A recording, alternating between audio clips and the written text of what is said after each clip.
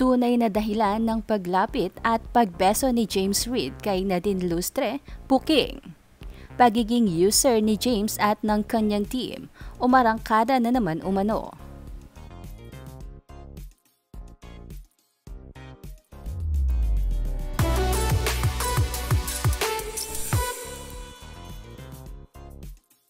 Napa-react nga ang mga netizens at ang iba nga ay kinilig pa nang mapanood ang pagbeso-beso ng ex-couple at dating mag-love team na sila James Reid at Nadine Lustre sa isang luxury brand flagship store opening. Nag-trending kaagad ito sa social media at talaga namang inulan ng iba't ibang reactions mula sa mga fans ng dalawa. Ngunit kung may mga kinilig na fans ng dalawa, ay mayroon namang fans ng actress na nagbooking sa tunay na agenda ng ginawang ito ni James Reid. Sa mga nakarang event kasi na kapwa sila present ni Nadine ay ni hindi nagpapansinan ang mga ito. At nitong sa Sea event nga ay sadyang lumapit ang singer-actor sa kanyang ex-girlfriend. Nilagpasan pa si Ann Curtis para lamang makabeso kay Nadine. Ayon sa fans ni Nadine ay umarangkada na naman umano ang pagiging user ni James. Ayon dito, tawang-tawa raw siya sa PR team ni James dahil apparently raw ay may niluluto umanong serye para kay James kaya kailangan niyang magpabango ng pangalan. Dead ma siya before pag nasa same venue sila ni Nadine. Then all of a sudden may pagbeso sa harap ng press Ayon pa dito ay desperado na raw ang team ni James to clear their names, to show to the public that everything's good between James and Nadine. Ngunit ang kanilang plano o scheme ay nag-backfire rin umano. PR team failed at kinakarma na raw. Bukod naman sa fans ni Nadine ay napansin rin umano ng ilang media ang kaplastikang ito ni James Reid ayon sa ulat ng Pinoy News Channel. Grabehan daw ang kaplastikan ni Nadine Luster at James Reid.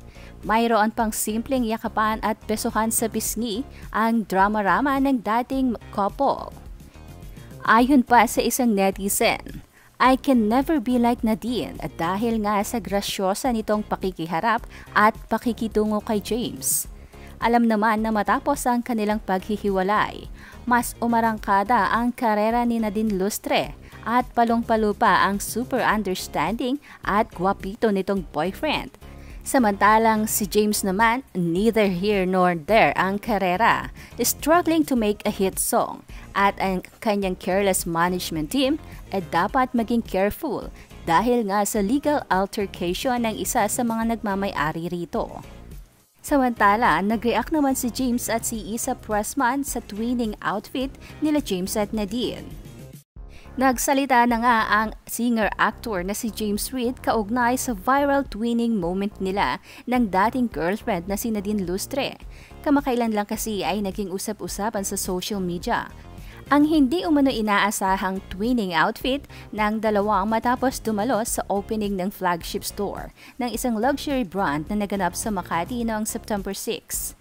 Makikita kasi sa viral video na parehong-pareho ang kulay at design ng suot ni na James at Nadine na lubos na ikinatuwa ng mga solid Jaden fans. Ayon kay James, hindi niya talaga napansin na magkapareho sila ng suot ni Nadine. Nalaman lang daw niya ito nang sabihin sa kanya ng girlfriend niyang si Isa Pressman. Yes, I saw that. Actually, Isa's the one that showed it to me. She was like, Oh my god, your outfits are matching. Chika ni James matapos ma-ambush interview sa black carpet ng Preview Ball 2023.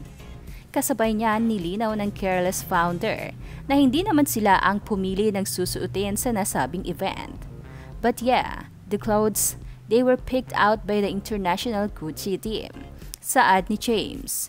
Patuloy niya, and it turns out that, you know, the outfits match and will look great. But yeah, I just had a lot of fun that at the Gucci event. I had a lot of fun with Isa, with Liza, and the rest of the Careless team. And it was great to see Nadine, and yeah, it was a great night. Mahabang paliwanag ni James.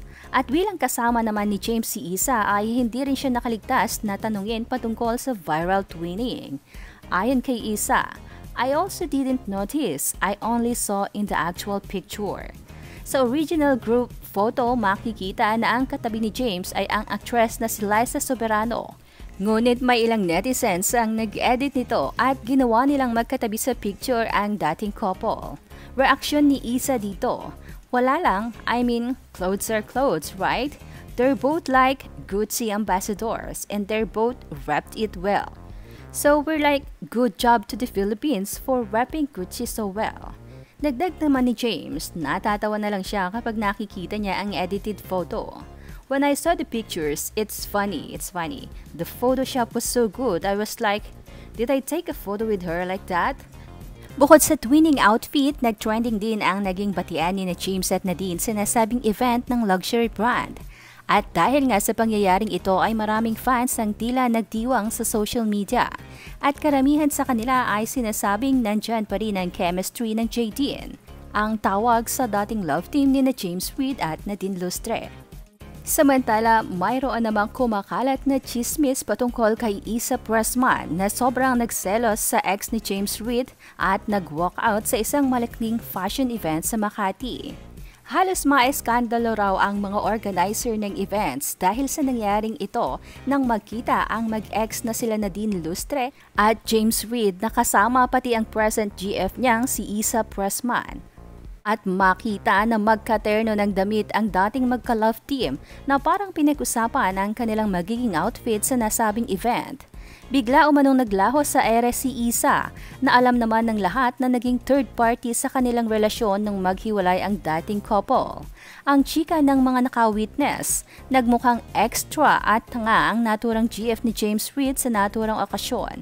Kaya parang na-out of place si Isa at nagwala ito sa bar kung saan inom ng inom ng ladies drinks sabay alis na walang paalam.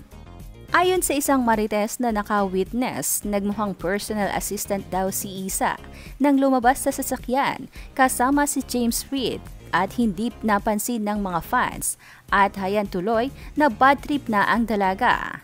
Narito at panoorin ang aktual na video clip ng pagbaba ni Isa sa sasakyan kung saan kasama niya rin si James Reid.